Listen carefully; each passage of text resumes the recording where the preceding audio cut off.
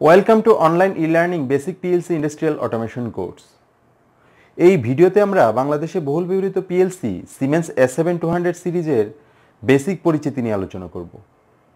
Siemens company S seven two hundred সিরিজের বিভিন্ন model বিভিন্ন সময় আপডেট করেছে।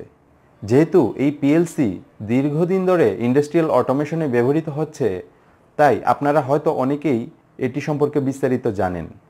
যারা S seven two hundred PLC সম্পর্কে বিস্তারিত জানেন, তারা এই চ্যানেলটি স্কিপ করে অ্যাডভান্স পিএলসির উপর অন্য কোনো চ্যানেলে অন্য কোনো ভালো ভিডিও দেখতে পারেন।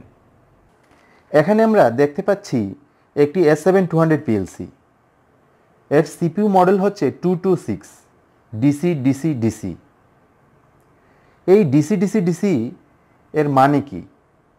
প্রথম ডিসি মানে হচ্ছে পাওয়ার সাপ্লাই অর্থাৎ চব্বিশ ভোল্ট মাঝখানের ডিসি হচ্ছে ডিসি ইনপুট এবং শেষের ডিসি হচ্ছে ডিসি আউটপুট পিএলসির মডেল দেখে এর সিপিইউ টাই পাওয়ার সাপ্লাই ইনপুট আউটপুট এই ইনফরমেশনগুলো পাওয়া যায়। তাছাড়াও S seven two hundred পিএলসির two two six AC DC relay CPU আছে। এসি মানে হচ্ছে two twenty volt AC power supply মাঝখানে ডিসি মানে হচ্ছে ডিসি ইনপুট অর্থাৎ এর মধ্যে যতগুলো ইনপুট ব্যবহৃত হবে, সেগুলো ডিসি সর্বশেষ রিলে হচ্ছে আউটপুট অর্থাৎ রিলে আউটপুট আমি ইচ্ছা করলে রিলের মাধ্যমে আউটপুট থেকে এসি অথবা ডিসি লোড অন অফ করাতে পারি। এই টু টু সিক্স সিপিউতে চব্বিশটি ইনপুট এবং ষোলোটি আউটপুট আছে। এস সেভেন টু হান্ড্রেড সিরিজের আরও অনেক সিপিইউ মডেল আছে। এখানে two two one two two two two two four two two six এই চার ধরনের সিপিইউ দেখা যাচ্ছে।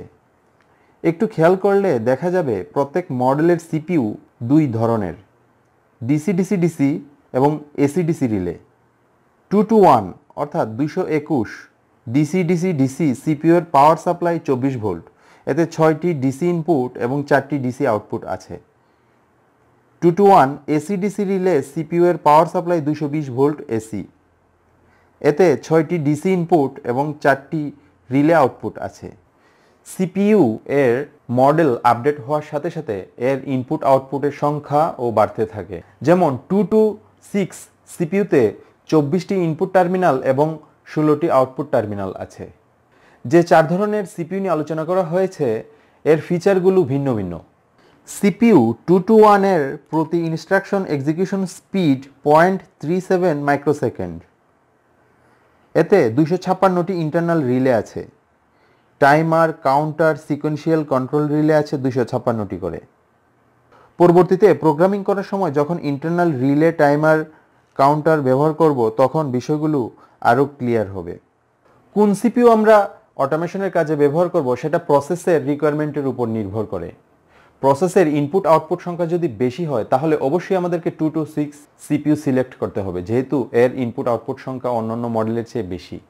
তাছাড়াও S seven two hundred PLC expandable প্রসেসে যদি ইনপুট আউটপুটের সংখ্যা বেড়ে যায় বা নতুন করে অ্যাড করা হয়, তখন এক্সপানশন মডিউল যুক্ত করতে হয়।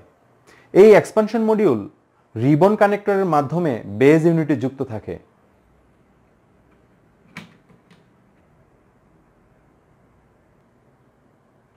সিপিইউ টু টু ওয়ানে ছয়টি ইনপুট এবং চারটি আউটপুট থাকে। এর কোনো হার্ডওয়্যার এক্সপানশন নাই।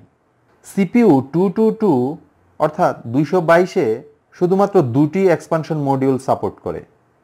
সিপিইউ দুইশো চব্বিশ এবং সিপিইউ দুইশো ছাব্বিশ সর্বোচ্চ ষাটটি করে এক্সপানশন মডিউল অ্যাকসেপ্ট করে। পিএলসিতে তিনটি বেজ ইউনিট থাকে, সিপিইউ ইনপুট আউটপুট কোনো সিস্টেমের ইনপুট আউটপুট কন্ট্রোল করে হচ্ছে সিপিইউ। ইনপুট ফিল্ড ডিভাইস যেমন সেন্সর সুইচ ইত্যাদি মনিটর করে। আউটপুট কন্ট্রোল করে মোটর পাম্প অ্যাকচুয়েটর ইত্যাদি। পোর্ট পিএলসিকে কম্পিউটার এবং এইচএমআই এর সাথে কানেক্ট করে।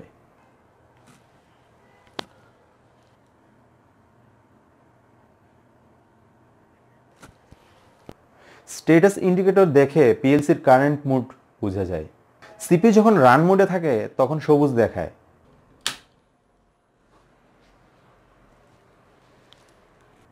যখন স্টপ মোডে থাকে, তখন হলুদ বাতি জ্বলে।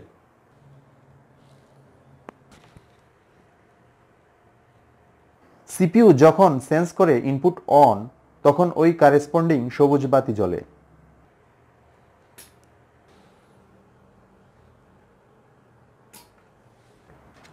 আউটপুটের ক্ষেত্রেও ঠিক একই ঘটনা ঘটে। মোড সুইচ যখন রান পজিশনে থাকে, তখন পিএলসি প্রোগ্রাম এক্সিকিউট করে।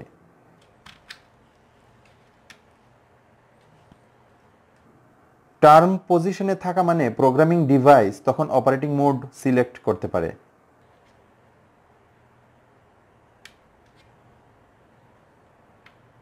যখন স্টপ পজিশন সিলেক্ট করা হয়, তখন প্রোগ্রাম এক্সিকিউট হয় না।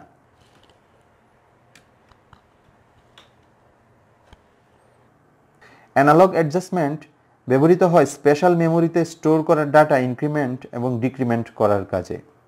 এস সেভেন টু হান্ড্রেড পিএলসিতে ইইপিরম মেমোরি কার্ড আছে প্রোগ্রাম স্টোর করার জন্য।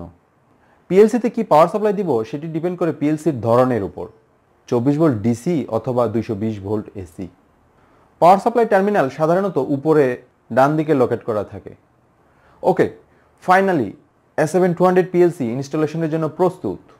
সুতরাং এটিই ছিল এস সেভেন টু হান্ড্রেড পিএলসির বেসিক ওভারভিউ পরবর্তী ভিডিওতে আমরা দেখব Siemens S seven two hundred পিএলসির wiring এবং এর ইনপুট আউটপুট অ্যাড্রেসিং কীভাবে করতে হয়? এই ভিডিওর কোনো বিষয় নিয়ে যদি আপনি ডাউট ফিল করেন, তাহলে কমেন্টে লিখতে পারেন। চ্যানেলটি সাবস্ক্রাইব করে আমাদের সাথেই থাকুন।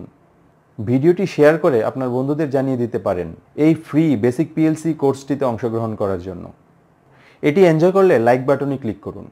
বেল আইকনে ক্লিক করলে পরবর্তীতে বেসিক পিএলসির উপর যতগুলো ভিডিও আপলোড করা হবে, সাথে সাথে নোটিফিকেশন পাবেন। ওকে আজ এ পর্যন্তই। Thanks for staying with us. Bye.